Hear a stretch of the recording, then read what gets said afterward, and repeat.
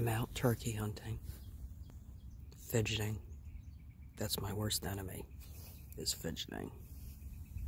And out in the field is Gertrude. Where did she go? She's right there. Gertrude is my faithful companion. She is. Where'd she go? There she is.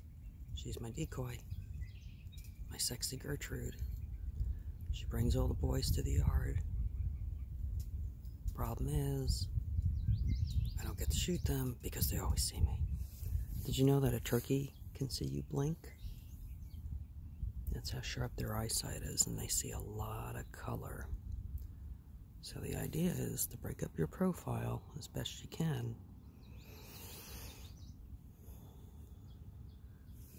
And of course, I'm not helping myself by videotaping this, but this is where I'm sitting. Right in here. Nice thick hedgerow with a pretty good field of vision and a gorgeous view of the mountains.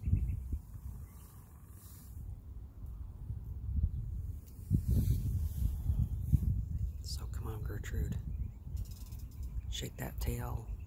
Do your thing and maybe we'll have turkey for dinner.